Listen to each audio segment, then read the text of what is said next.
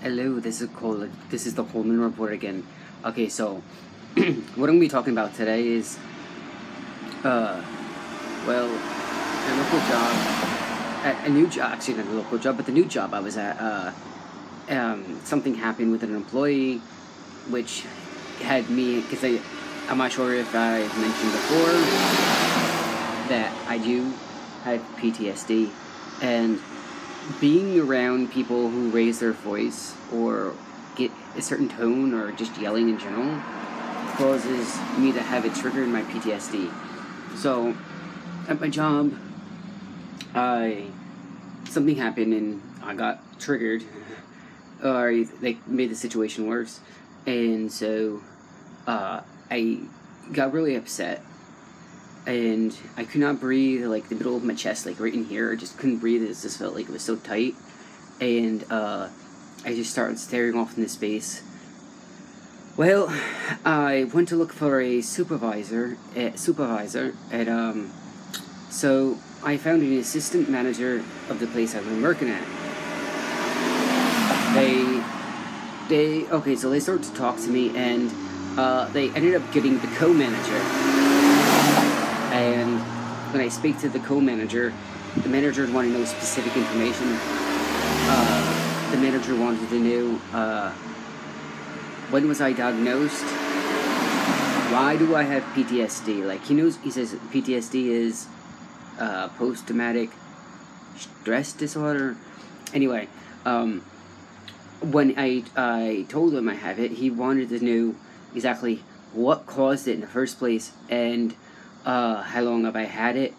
Do I take medication for it? Uh, the other person ended up asking me, um, so not to be nosy or anything, but uh, do you talk to somebody? Do you see a therapist? And of course, I at that time I didn't get to say anything, but I don't think it's really any of anyone's business. But uh, the co-manager ended up saying, well, he uh, takes medication, so he must be talking to someone. And uh, Okay, so side note, uh, the woman who's the assistant manager uh, ended up saying, well, why don't we find a department that might be different for you to work with and less stressful, less, um, less, there might be less confrontation. Uh, so, that's what the assistant manager said, and, um, the co-manager said, no, no, no, it's going to be like that any department we go to, it's going to be like that in with the employees, with the customers, with management themselves. Even he could be something, someone like that. And I mean, employ. I know employees have their time, but like if you're working in a place, you got to think of like you got to compose yourself in more of a professional manner. I mean, I know people have issues, situations. Like I can totally relate to that, but I mean, just don't go when you're frustrated or annoyed. Just get mad at your fellow employee or your uh, or your employees if you're a management or supervisor. Well, anyway, and he ended up telling me like, oh, this might not be the best job, and they didn't even try in accommodations. They didn't try in another apartment.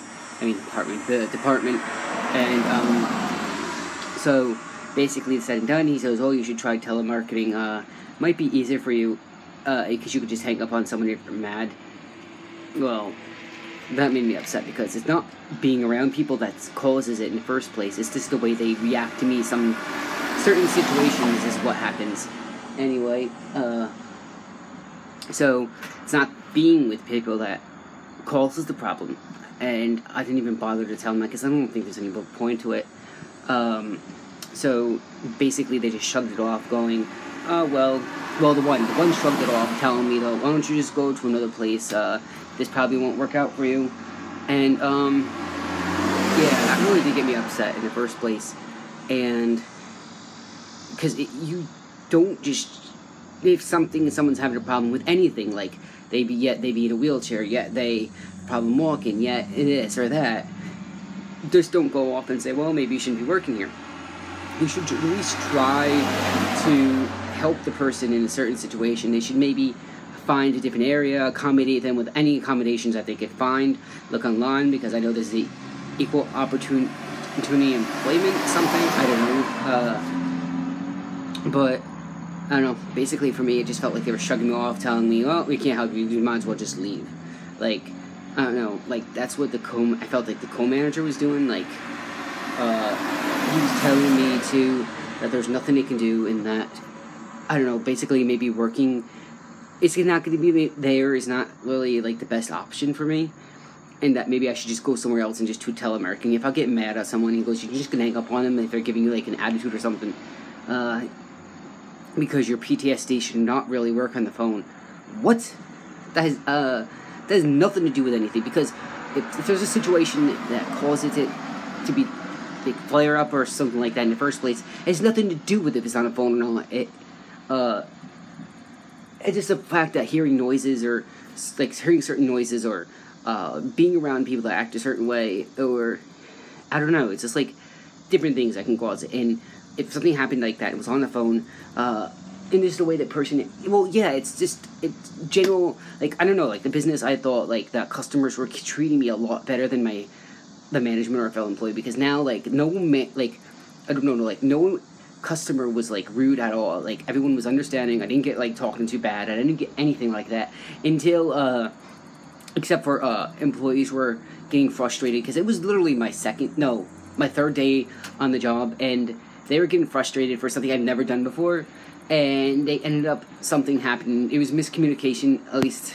that's what they said, and um, I don't know. He got someone got mad at me, and then for uh, something someone asked, and I told them that somebody told me to do it well, that person ended up getting, that person ended up walking back. The one who told me to do something got mad, saying, You didn't tell me to do it. Well, there was people around and still seeing him tell me to do it. I don't know, it's just something like, like I don't know, bonkers or bogus or whatever. Anyway, um, yeah, so basically they're telling me, No, no, no, uh, you need to find somewhere else. I mean, like, really? There's like certain things you could do, and you can accommodate someone. You can accommodate with people with all different um, different abilities, different disabilities. There's all things you can accommodate. You don't, don't shrug them off and tell them, oh, this is not going to be working, go there, because everyone's going to be like that everywhere. Well, that means you need your people to be better. You just don't say that and just say, oh, well, go ahead, go work somewhere else. Don't, you can't, we can't help you, we can't, you can't be working here. Uh, that's like basically bullocks, and I don't give a crap. Like, I don't know, you just don't do that to people. I mean, you've gotta accommodate them because otherwise, I don't know, that's like a thing of discrimination. And I don't know, this is complete. I don't know. I don't know, it's just like stupid. Like, I mean. I don't know, you just don't do that to people. Anyway, uh, so yeah. I'll see what happens when I go back there, uh, because I basically almost quit because they're telling me to. They didn't. They're just telling me to uh, try. It's not gonna be a good job even though uh, even though another person recommended that I try another department, the assistant manager, but the head up, the home manager said no. It's gonna be like the everywhere. So I don't see what happens, and I am not really sure at this point because I don't know.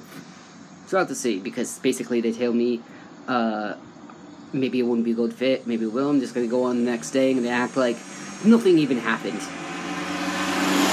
At the point, if I do need accommodations, I will basically tell them that it's the law to give it to me.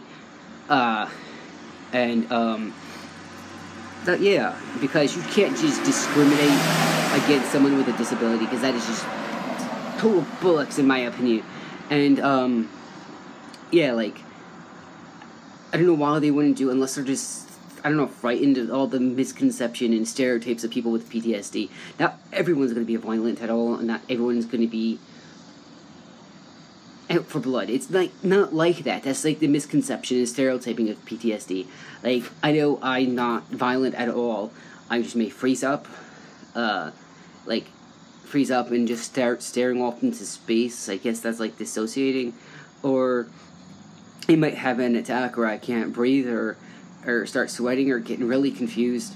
But that's basically it. I've never lashed out at a person before, and I don't believe that they should be telling me something unless I can like unless it's even even if it's just because of a stereotype of them perceiving PTSD to be like this whole rugged thing, like this whole horrible thing, but it is not. And people, there's very common, and people get it for different reasons. So that wasn't even an appropriate question to ask me about uh, how come I have it and how long I've had it. This isn't of your business. It's not even your business, even if I take medication or not. And going beyond that, he goes and asks me, uh, "Well, did you take your medication today?" what? This is a job. This is not like something you're gonna be socially talking about. You're not my doctor or nothing. Uh, so yeah, this is something I just wanted to. I know it's supposed to be the Coleman report, but I'm gonna put that in there. Like, you don't discriminate against people first. Like, something like a disability or a medical issue.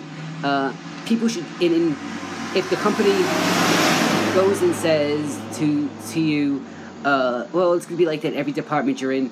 They're basically just flagging you. They're just shrugging you off, and then it means that they, if it's management and not just uh, customers, but if it's employees and management, well, then that shows how really good their employees and management are uh, communicating. Like, be more professional and don't just treat everybody like shit. You know what I mean? Like, if I'm gonna be triggered by someone yelling at me or they just being right down mean with a certain tone and sort of getting my face, I mean, that shouldn't be at a workplace setting. I mean, I wouldn't do that to my boss. I wouldn't do it to an employee. I definitely wouldn't even do it to a customer. So I don't understand what gives them to think that right that they can act like that to their other employees or management or whatever. But this is this is totally uncalled for and just plain down disrespectful. And then for them to tell me uh no basically there's no other place when someone else asks about well, maybe a different department.